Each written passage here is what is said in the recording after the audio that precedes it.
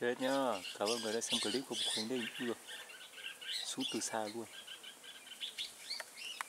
Lưng tôm cánh sệ đây rồi.